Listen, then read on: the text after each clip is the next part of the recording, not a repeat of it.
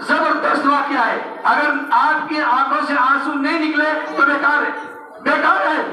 ईमान का जज्बा अगर हरारत में नहीं आया सुनिएगा तवज्जो से। मेरा दिल अभी से रोने को कर रहा है, मैं जब्त कर रहा हूँ।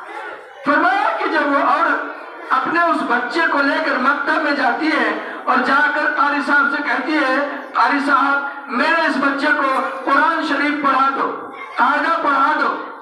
इनको बिस्मिल्लाह सिखा दो। कारी साहब कहते हैं, आओ बेटा, आओ। हम बच्चे को प्यार करते मारते नहीं है।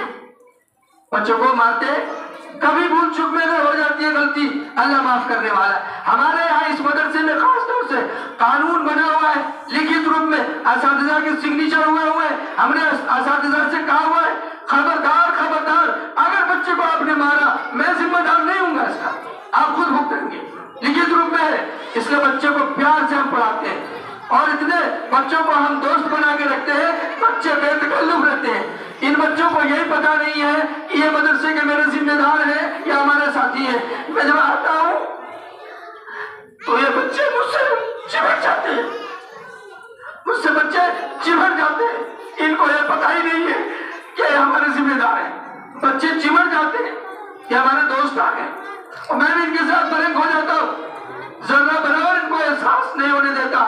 कि मैं कोई मदरसे का जिम्मेदार हूँ। इनको यह महसूस होता है ये हमारा साथी है ये हमारे साथ खेलने के लिए आया है। मैं इनसे हँसी मज़ाक कर, करता हूँ इनको पता नहीं चलता। तो उस्ताद का काम है बच्चे को सीने से लगाना उनसे मोहब्बत करना और ये माहौल से निकल कर यहाँ आया है।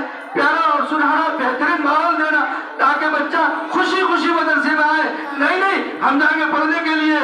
मज़ा आता है वहाँ। हाँ अब सुनिएगा।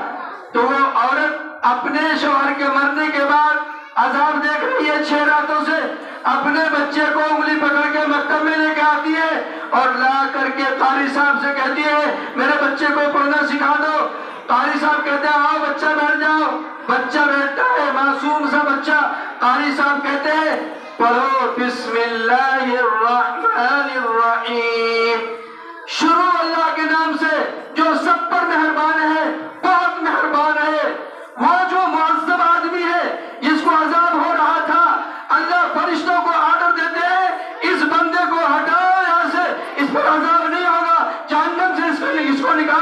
গেল